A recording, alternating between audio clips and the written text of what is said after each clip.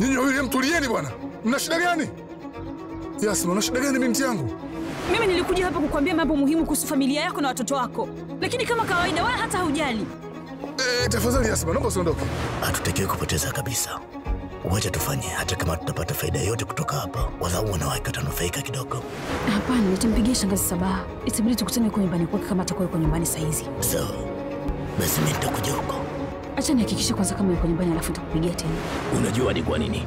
Sikiliza, hautakiwi kwenda huko. Kuna sababu nyingi, lakini hautakiwi kwenda kwa Yasma. Sawa, inawezekana kabisa atakuwa ameshapanga kitu na kaka yake. Love Me Not Jumatatu hadi Ijumaa saa moja kamili usiku ndani ya Mambo TV Swahili pekee.